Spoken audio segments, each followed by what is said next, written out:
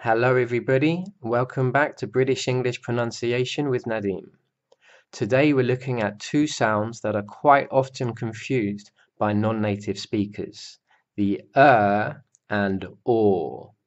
These are two long single vowel sounds that need to sound distinct from each other in order to be understood.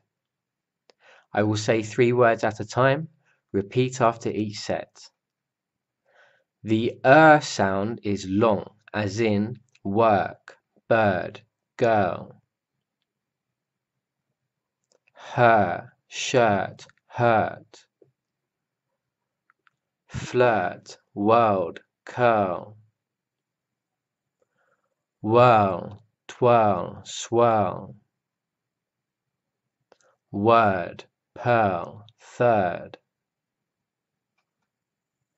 The or sound is also long, but with lips more rounded. Or. Okay, three words at a time. Repeat after each set. Walk, talk, fork. Hawk, cord, board. Chalk, lord, ward store, for, jaw, sword, poured, ball. Okay, got that? Repeat as many times as you need. On to today's tongue twister.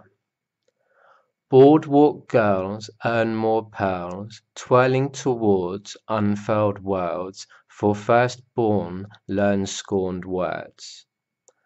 Okay, just the first part. Repeat after me.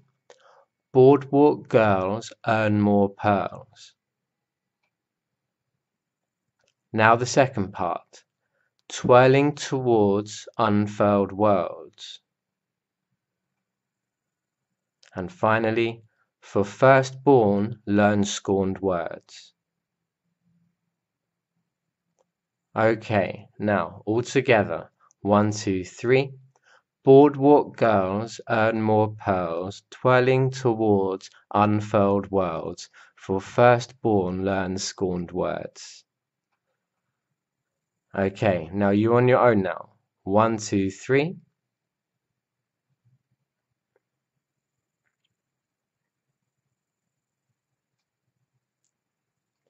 Excellent. Good work for today. And see you next time. Remember, practice, practice.